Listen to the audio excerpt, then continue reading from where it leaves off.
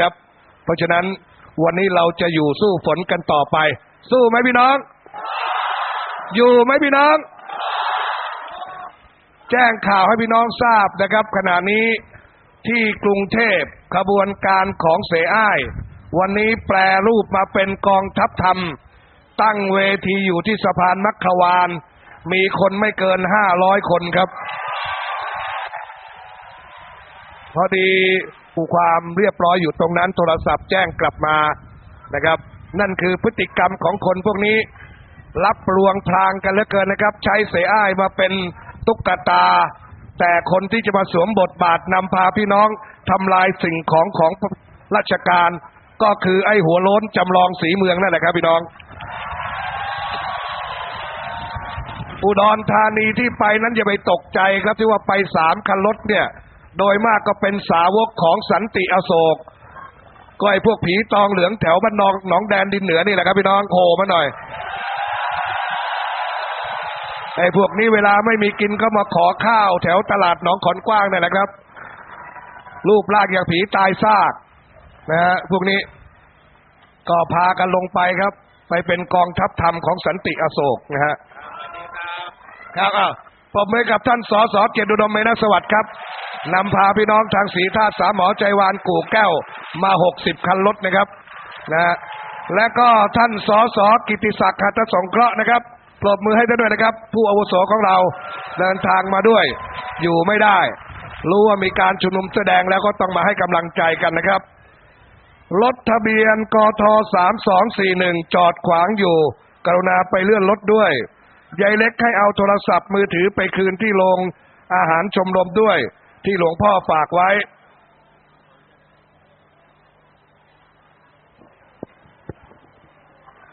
อำเภอเสนางคณิคม จังหวัดอำนาจเจริญมากันสามคันรถทัวร์นะครับ ปรบมือพี่น้องเสนางนิคมด้วยนะครับ แล้วนี่บอกว่าแม่เวทีหนึ่งร้อยบาท แม่กีหนึ่งร้อยบาท บ้านจีดกูแก้ว มากันสิบห้าคันรถนะครับ จากกูแก้ว ขอบคุณนะครับ ครับพี่น้องที่เคารพครับ วันนี้ผมเองก็มานั่งถามตัวเองว่า วันนี้เราประชาชนคนแสอแดงเนี่ย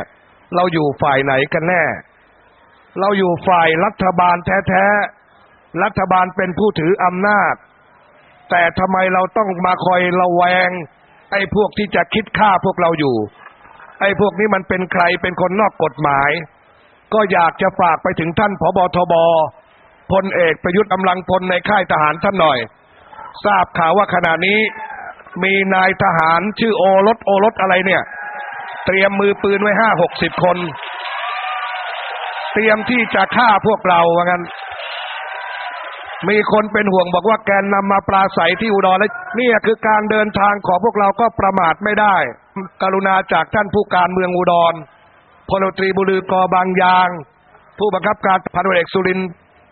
ชัยชมพูรองผู้การ และผู้กำกับโกวิทเจริญวัฒนท่าน จัดกำลังมาดูแลอำนวยความสะดวกให้แกนนำที่เดินทางมาจากภาคกลางก็ไปอย่างหนึ่งรัฐบาลจะเล่นงานเรายังไงก็ได้ แต่นี่เราเป็นรัฐบาลไม่เคยคิดจะรังแกใครเลย แต่กลับมีกลุ่มมาเฟียไม่รู้เส้นใหญ่มาจากไหน มันคิดจะฆ่าพวกเรา แล้วนะครับ กองทัพผมเคารพนับถือในความเป็นชายชาติทหารของพวกท่าน แต่ทหารเร็วๆบางคนที่รับใช้ผิด นะครับ ท่านไม่มีความเป็นสุภาพบุรุษเป็นชายชาติทหารเลย วันนี้ท่านเป็นข้าราชการของรัฐนะครับ แล้วท่านมีพฤติกรรมอย่างนี้ได้อย่างไร คนที่จะมาชี้แจงแถลงไขให้ได้ดีและมีเหตุมีผลเป็นวิชาการ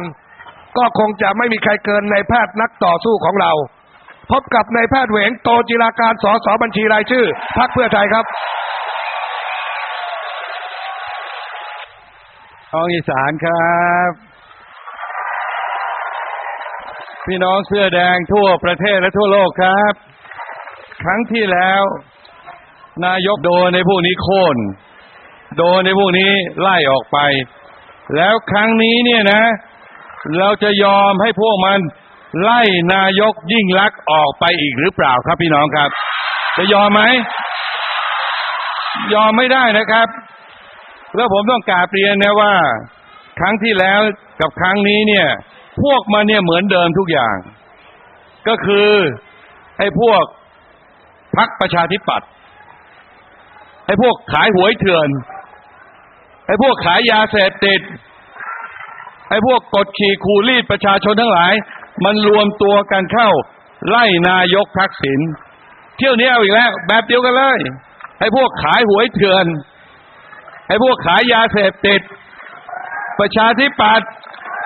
พันธมิตร มันรวมตัวกันอีกแล้ว เราจะยอมให้มันไล่นายกยิ่งรักษณ์ได้หรือเปล่า อย่ายอมนะครับ ครั้งนี้กับครั้งที่แล้วเนี่ย มีข้อแตกต่างกันมากมาย มากมายครับ แต่ผมอยากจะกราบเรียนอยู่สองข้อ ข้อแรกเนี่ย พวกเราจำได้ไหมครับว่า นายกทักษิณอยู่ที่นิวยอร์ก อยู่ที่สหประชาชาติ ทักษิณไม่ได้อยู่ในประเทศไทยใช่ไหมครับ ครั้งที่แล้ว ครั้งที่แล้วทักษิณไม่ได้อยู่ในประเทศไทยนะ แต่ว่าทักษิณสู้ครับ เราต้องเรียนรู้อดีตนะ เพื่อเราจะได้เอาอดีตเนี่ยมารับใช้ปัจจุบัน นายกทักษิณสู้นะเอาสู้แล้วทำไมยังแพ้ ที่นายกทักษิณสู้แล้วยังแพ้ เพราะว่ารัฐบาลในสมัยนั้น หลายหลายคนที่อยู่ในประเทศไทยขี้ขาดตาขาวไม่ยอมสู้กับไอ้พวกกบฏครับพี่น้อง นายกทักษิณเนี่ยห้องข้าวช่องเก้านะฮะออกคำสั่งมาให้ปลดไอ้พวกกบฏเนี่ยออก แต่ว่าท่านอยู่ต่างประเทศไง ข้างในไม่กล้าสู้ โยนผ้าขาวแล้ว อย่างนี้เราจะยอมที่จะนะ ผมถึงอยากกาบเรียนไปยังรัฐบาลทั้งหลาย กาบเรียนไปยัง พักเพื่อไทยทั้งหลาย ผมก็อยู่เพื่อพักเพื่อไทยส่วนหนึ่งนี่นะและส่วนสำคัญผมเป็นคนเสื้อแดงครับ แต่ขณะเดียวกันเนี่ยคนเสื้อแดงส่งผมเข้าไปในขณะนี้เนี่ยผมพูดในสองสถานะ สถานะแรกนี่นะครับ ในฐานะที่เป็นสสรัฐบาลพักเพื่อไทย ว่าเที่ยวนี้เราจะยอมให้พวกกบฏมาปล้นอำต่อไปไม่ได้เป็นอันขาดครับ มีสสเพื่อไทยอยู่ในนี้จำนวนมาก พี่น้องครับ เราปรบมือให้กำลังใจกับสสเพื่อไทยทุกคนว่าเที่ยวนี้ จัดจะต้องปราบกบฏให้สำเร็จ อย่าไปยอมให้พวกกบฏมันครั้งที่แล้วนี่สิเนี่ยสั่งการมาเนี่ย ผมยังจำได้เลย ผมทำเนี่ยไม่เห็นหน้าเลยนะครับรัฐมนตรีกลาโหมในวันนั้นนะจ่าประสิทธิ์มา การต่างไปอีกข้อหนึ่ง ก็คือในวันคนเสื้อแดงยังไม่ปรากฏตัวออกมาทั่วทั้งแผ่นดิน แต่ในวันนี้ตัวออกมาทั่วทั้งแผ่นดินมากกว่า 19 ล้านคนขึ้นไปแล้วใช่หรือเปล่าครับ ดังนั้นเราจะยอมให้พวกกบฏเนี่ยอุ๊ถึงต้องการที่จะโค่นล้มรัฐบาลยิ่งรักลงไป ผมก็กลับไปดูประวัติศาสตร์นะครับ 6 ตุลา พี่น้องจำ6ตุลาได้ไหมครับ 6 ตุลาจำได้ไหมครับ ไอ้พวกนั้นเนี่ยใส่ร้ายป้ายสีนักศึกษาในมหาวิทยาลัยธรรมศาสตร์ว่าเป็นคอมมิวนิสต์ ว่าเป็นแกวว่าเป็นยวนโค่นล้มสถาบัน สุดท้ายก็ฆ่านักศึกษาอย่างอำมหิต เหมือนเหมือนกับ19ใช่หรือเปล่า เหมือนกับเมษาพฤษภาปี53ใช่หรือเปล่ากลับไปพลิกประวัติศาสตร์ดูตอน6ตุลานะ จะปรากฏว่าเนี่ยพอศาลเนี่ยไต่สวนคดี ไต่สวนคดีไต่สวนคดีไต่สวนคดี เอ้า ความจริงมันเริ่มเปิดเผย เริ่มเปิดเผย เริ่มเปิดเผย เอ้า มันใกล้เข้าไปตัวฆาตกรทุกที ทุกที ทุกที ใกล้ที่จะเอาฆาตกรมาลงโทษได้ทุกที มันเกิดรัฐประหารขึ้นเลยว่ะ 6 ตุลามันเป็นอย่างนี้นะ วันนี้มันจะซ้ำรอยเดิมอีกแล้ว เพราะในวันนี้เนี่ยศาลไต่สวนแล้วนะครับ ศาลไต่สวนไปหลายคดีแล้ว และศาลท่านก็มีคำพิพากษาคดีแรกมาเรียบร้อยแล้ว ก็คดีพันคำกอง ศาลท่านชี้ชัดๆเลยนะครับว่า พันคำกองตายจากการกระทำของเจ้าหน้าที่ ที่ปฏิบัติภารหน้าที่ตามคำสั่งของสออชอครับพี่น้องครับ แล้วทราบใช่ไหมครับว่าสออชเนี่ยเลขาธิการผู้อำนวยพออสออชก็คือสุเทพเทือกสุบรรณจำได้หรือเปล่าครับ คนตั้งสออชก็คืออภิสิทธิ์เวชชาชีวะใช่ไหมครับคำกองถูกฆ่าโดยทหาร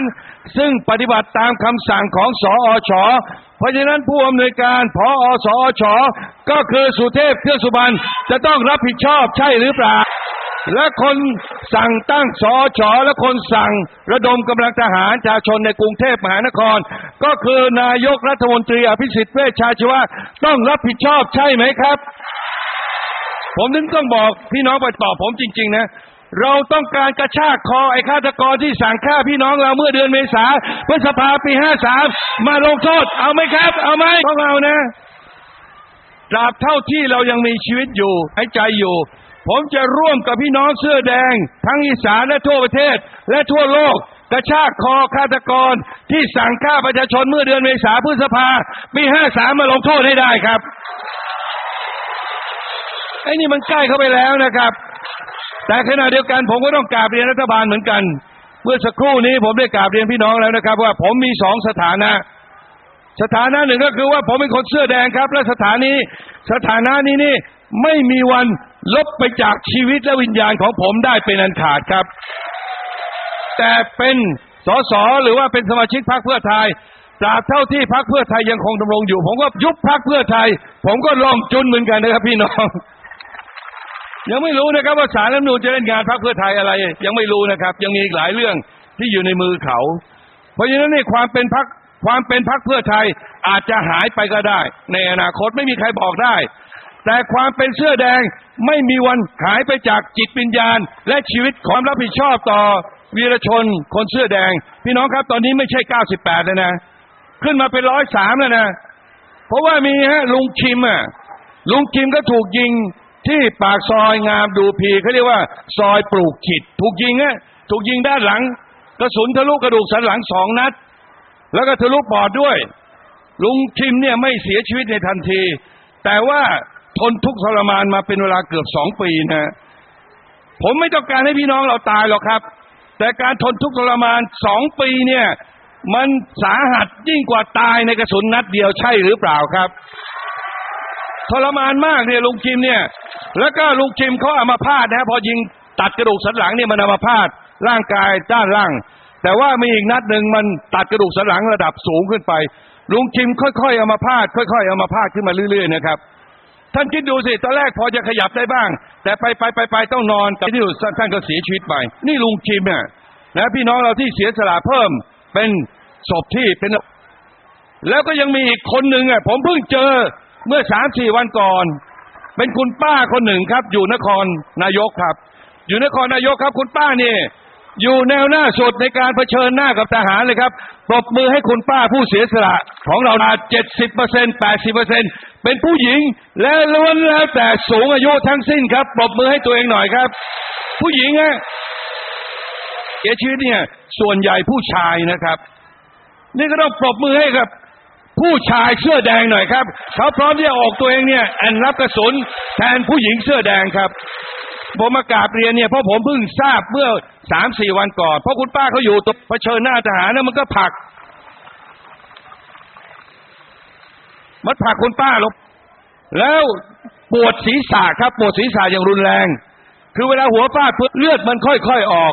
คุณป้ามาเสียชีวิตให้หลังอีกสิบแปดวัน แล้วคุณหมอที่ โรงพยาบาลนะครับ ที่โรงพยาบาลมสว ที่ตรงนครนายกเขาชนสูตรศพนะฮะปรากฏว่ามีก้อนเลือดขนาดสามเซนติเมตรอยู่ในสมองด้านขวา คุณป้าเสียชีวิต เนื่องจากต่อสู้กับเผด็จการทหารของรัฐบาลอภิสิทธิ์เวชชาชีวะครับศพที่หนึ่งร้อยหนึ่งคุณโอไก่ย่างครับ โอไก่ย่าง แล้วก็มีคุณ การค้นคว้าเรื่องนี้สำหรับผมนะ อ่านดูเนี่ยยังไม่พบ แต่ว่าจากกรณีที่เกิดขึ้นในประเทศไทยเนี่ย ผมตั้งข้อสันนิษฐานนะครับว่า ไอ้พวกทหารในสมัยอภิสิทธิ์เวชชาชีวะ ที่มันยิงใส่เราเนี่ย มันมีสิ่งนั้นพี่น้องเราที่สูดดม สูดเนี่ย แก้น้ำตาเข้าไปปอดมากๆ เนี่ย สารพิษที่ตามีความเป็นไปได้ ที่ทำให้พี่น้องเราป่วยเป็นโรคมะเร็งปอดเสียชีวิตไปครับพี่น้องครับ ผมถึงกราบเรียนนะครับ มีเพิ่มอีกสามเราคุณต้อยลำลูกกา คุณวุฒิชัยศรีสุนทร ที่ผมมากราบเรียนร้อยวันพันปี หรือตราบชั่วฟ้าดินสลาย หรือตราบเท่าที่เรายังไม่ตายไป จะลืมวีรชนของเราได้หรือเปล่าครับ ลืมได้ไหมครับของทางเท่านั้นเองในการที่จะทดแทนบุญคุณของวีรชน ทางที่หนึ่งก็คือ นี่คือเรื่องที่หนึ่งและในเรื่องที่หนึ่งก็คือของเรา นะครับ ที่จำขังในเรือนจำออกมาให้หมดให้ได้ ใช่ไหมครับพี่น้อง เราจะปล่อยให้พี่น้องเราถูกจำขังในเรือนจำต่อไปไม่ได้ครับ เรื่องนี้คุณจตุพรนะครับ ได้ปราศัยมาทุกเวทีแล้วแล้วผมก็ขอสนับสนุนนะครับว่า ขอให้รัฐบาลเนี่ยออกนิรโทษโทษกรรมให้ประชาชน ไม่ว่าสีไหนก็ตาม ไม่เพียงแต่สีแดงอย่างนิรโทษกรรมให้ผม หรือคุณจตุพร เพราะว่าเราจะได้กระชากคอนายสุเทพด้วยเช่นกันครับ แต่นิรโทษทั่วไปนี่นิรโทษกรรมไปเลย แต่ไม่ต้องมานิรโทษกรรมแกนนำอย่างพวกผม อย่างคุณจตุพรอย่างผมนะครับ แล้วก็เราจะได้เอาอภิสิทธิ์เวชชาชีวะกับสุเทพเทือกสุบรรณมาลงโทษให้ได้ และพี่น้องนะเรื่องนี้สำคัญมากคุณจตุพรเนี่ยปราศัยอยู่เรื่อยๆ เดี๋ยววันนี้คุณจตุพรก็มานะครับว่า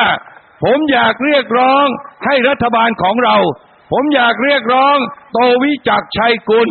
ลงนาม รับรอง เขตอำนาจศาลอาญาระหว่างประเทศ เฉพาะกรณีเมษาพฤษภาปี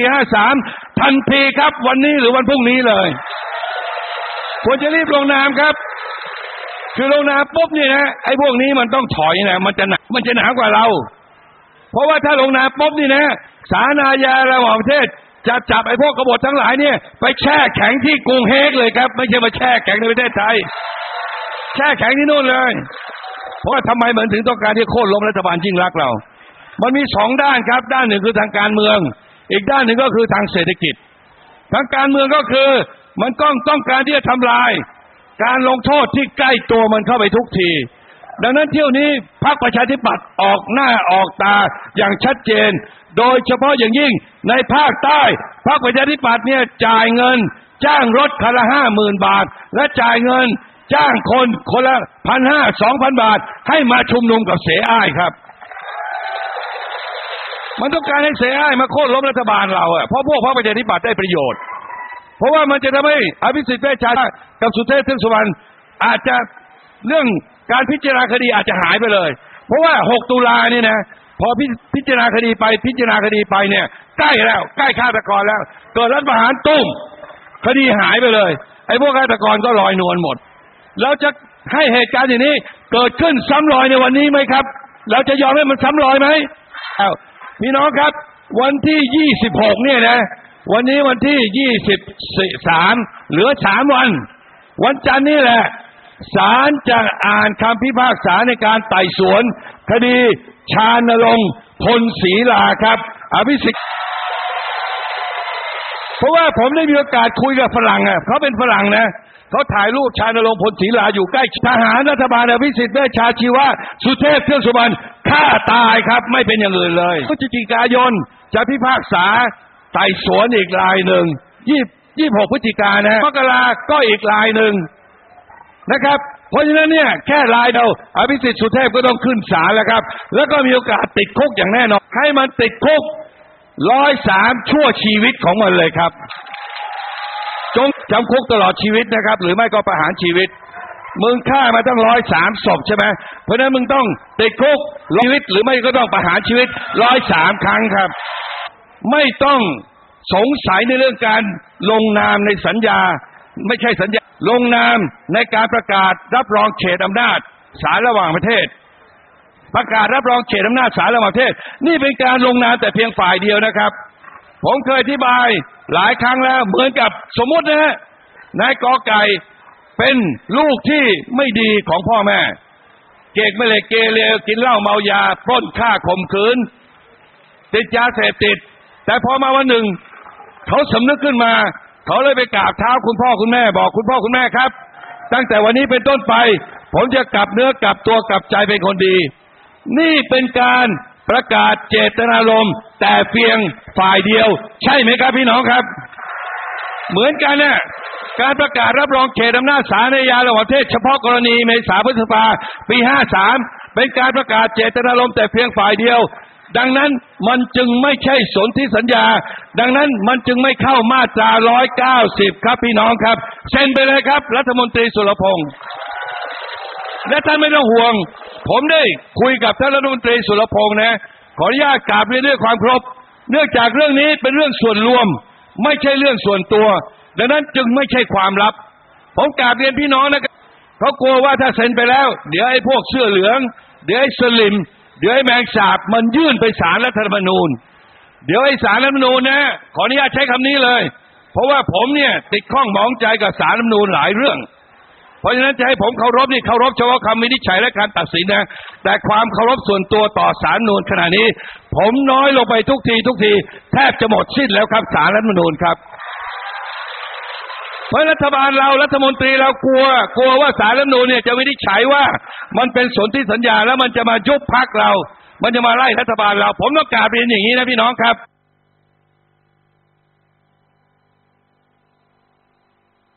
โดยหลักกฎหมายเนี่ยศาลชั้นที่ต่ำกว่าเนี่ยเขาต้อง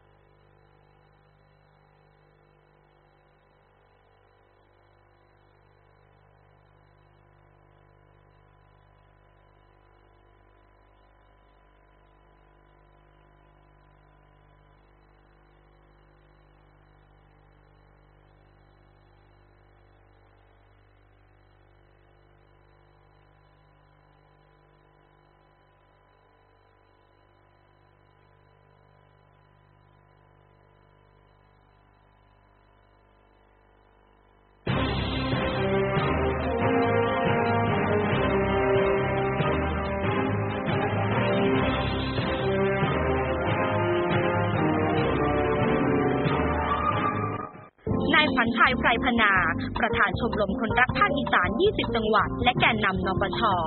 ขอเชิญทุกท่านเข้าร่วมงานหยุดกบฏแช่แข็งประเทศไทย ในวันศุกร์ที่ 23 พฤศจิกายน 2555 ณ ทุ่งสีเมือง